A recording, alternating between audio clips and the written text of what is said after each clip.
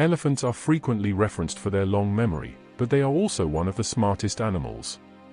These animals have a complicated social structure, and have been witnessed participating in funeral rituals for departed members of their family as well as mourning their loss. Elephants also use tools and medicate themselves, they will eat the leaves of certain plants to cure illness and even induce labor. They are also one of the very few animals that perform altruistic acts. Most animals lack the capacity to process the abstract thinking required of such actions. Elephants will sacrifice themselves if they believe that it will allow the rest of the herd or their children to escape to safety. Elephant makes a low, rumbling sound that can be heard up to 5 miles away. Elephants are able to recognize and distinguish human voices. They can tell the difference between human languages, male and female voices, friendly voices, and those associated with